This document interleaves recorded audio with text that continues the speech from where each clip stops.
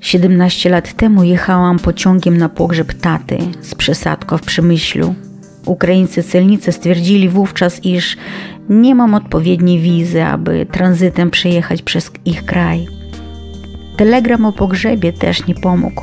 Zdjęli mnie z pociągu i zaprowadzili do budynku celnego.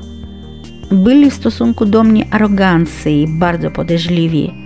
Przeszukali mój bagaż, potem wsadzili do samochodu i w nocy jakimś, jakimiś polnymi drogami wywieźli na przejście samochodowe. Wtedy z radości chciał mi się ucałować celnika polskiego. Wydawał mi się być w porównaniu z ukraińskimi kolegami bardzo miły. Zdziwił się, że zostałam tak potraktowana z ukraińskiej strony. Ale cóż robić, muszę wracać do domu. Jakimś nocnym busikiem dotarłam do dworca kolejowego w Przemyślu. Budynek okazał się być zamknięty, żadnej żywej duszy na peronie. Z przejścia podziemnego donosiły się odgłosy toczące się po betonie butelki. Pierwsza w nocy. Nawet nie wiem, kiedy będzie jakiś pociąg, wszystko jest pozamykane. Druga połowa października, pierwsze przymrozki, chłodno, co tu robić? Przerażona dzwonię do męża. Wiedział już o sytuacji, dzwoniłam do niego ze strony ukraińskiej przez jakoś sieć Kijów Star, płacąc chyba 5 zł za minutę rozmowy. Powiedział, że wyjeżdża i będzie nad ranem, ponieważ ma do Przemyśla kilkaset kilometrów. Przeszłam na drugą stronę dworca, przez to straszne przejście podziemne. Zobaczyłam otwarty lokal gastronomiczny, nieduży bar całodobowy. To było jedyne miejsce, gdzie ja mogłam posiedzieć w cieple, zjeść coś ciepłego i wypić kawę w oczekiwaniu na męża i nieco uspokoić rozkołatane nerwy i emocje po tak stresującym przeżyciu. Przemyśl pozostawił u mnie bardzo negatywne wrażenie na całe 17 lat. Aż do wczoraj, gdyż byłam w Przemyślu razem z innymi wspaniałymi ludźmi na wiecu kamrackim. Było równie chłodno jak 17 lat temu, ale ciepłymi były nasze relacje. Miło mi było znowu spotkać tych, z którymi równo miesiąc wcześniej spacerowaliśmy ulicami Mińska, wspólnie uczestnicząc w wyprawie na Białoruś. Miło było spotkać tych, kogo się widzi z nas innych kamrackich wieców i marszy. Niesamowite uczucie jedności, zrozumienia, przyjaźni, której tak nam wszystkim brakuje w życiu powszechnym. Dziękuję Wojtkowi i Marcinowi za piękne przemówienie, za wspaniałą organizację, za przemyślenie wydarzenia w najmniejszych szczegółach. Dziękuję za poczęstowanie smaczną grochówką i herbatką.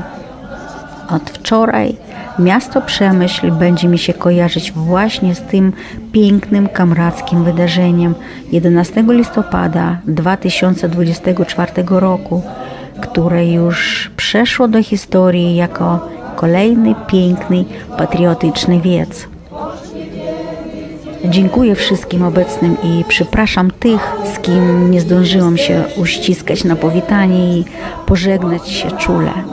Było nas tam tak wielu. Kocham Was wszystkich i do zobaczenia na kamrackich szlakach.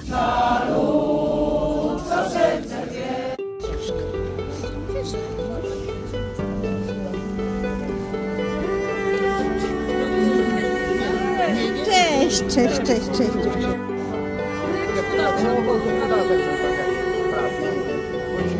Nie mieli, ale ja Ale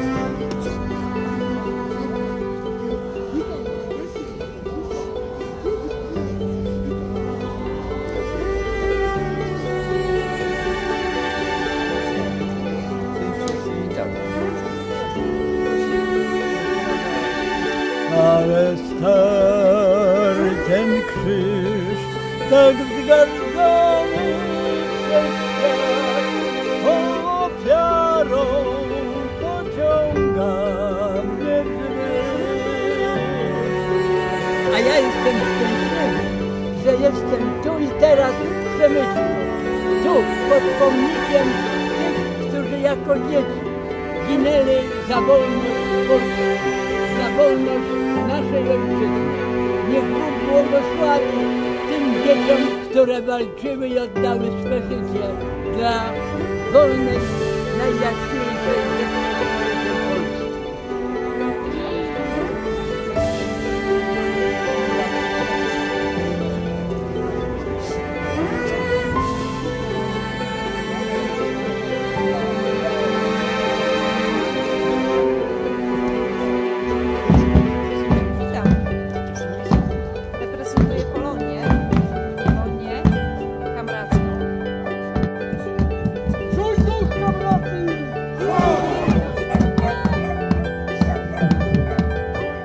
Kamraci, jest tutaj postać na gonfalonie Jeronima.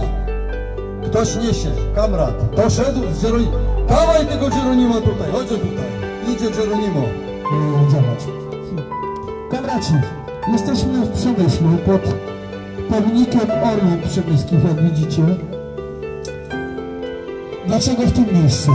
Rok po 11 listopada byliśmy w Głogowie. W Głogowie na marszu z okazji 11 listopada, dnia przywiązania do niepodległości, do suwerenności. Byliśmy w Głogowie pod hasłem Ręce precz od naszych dzieci.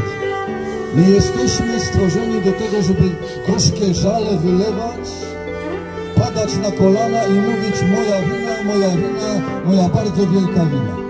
Zostawiamy to do rozrachunku z Panem Bogiem. On sobie radę z każdym z nas da. Nasi wielcy nieobecni, obecni. Adam Polak, Piotr Wojciechowski, nasi kamraci z całej Polski. Słuchajcie, Doroty.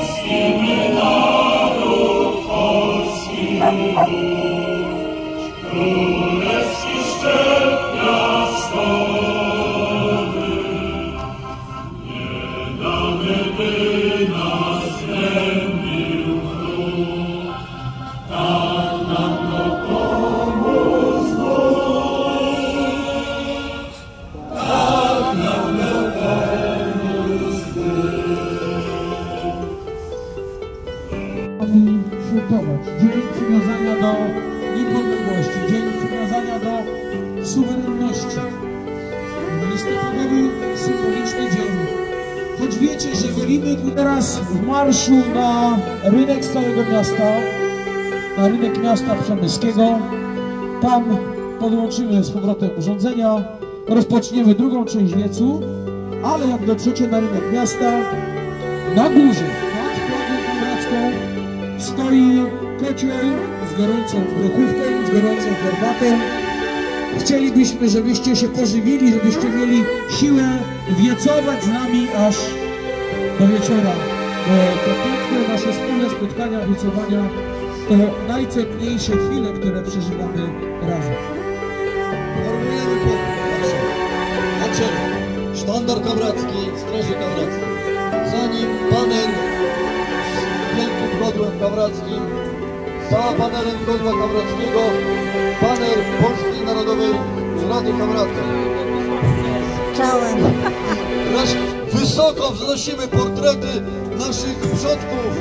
Halera, Paderewskiego, Korfannego, Topora Muśnickiego, Witosa, Rozwadowskiego, Niewiadomskiego, Jeronima, który wprawdzie Polakiem nie był, ale my Polacy bardzo go kochamy. I portret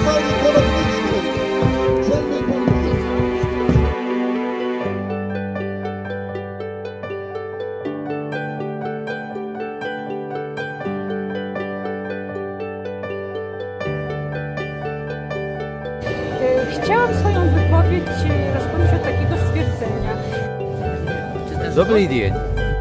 Dzień dobry. Здравствуйте. Marta z Sosnowca. Ten fundament, który oni wtedy zbudowali, do dzisiaj nie został rozkruszony, a robi się wszystko, żeby to zrobić. Kamraci!